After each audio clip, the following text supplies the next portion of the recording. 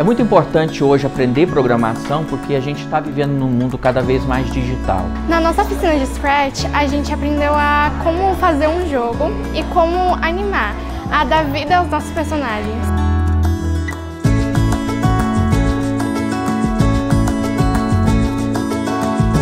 O objetivo da oficina de Digital Storytelling é que cada menina saia daqui com uma história gravada. Elas escrevem a história, narram a própria história, gravam o áudio, aprendem em dois softwares, um de edição de áudio e um de edição de vídeo, e no final elas saem com essa história pronta no pendrive, uma história que está na mão delas. A gente primeiro escreveu um roteiro sobre a nossa história, depois a gente gravou um áudio, a gente editou o áudio e vai transformar em vídeo com algumas imagens.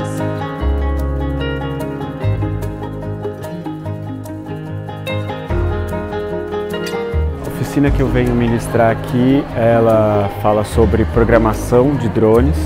É um assunto super novo, é uma alegria poder levar isso para as meninas, para que elas possam também é, se sentir encorajadas a programar e mais do que isso, que elas tenham, vejam um drone como uma plataforma onde elas podem aplicar essa programação e esse pensamento computacional.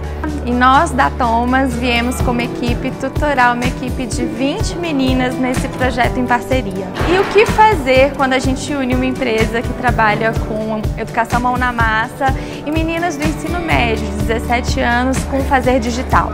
Empoderá-las.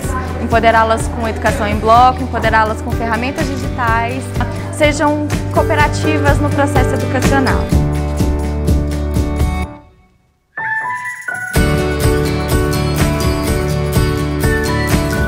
É, hoje eu trabalhei com as meninas na oficina de Arduino e o objetivo é mostrar para elas que a robótica e essas tecnologias são acessíveis e são áreas que elas podem atuar como qualquer outra área.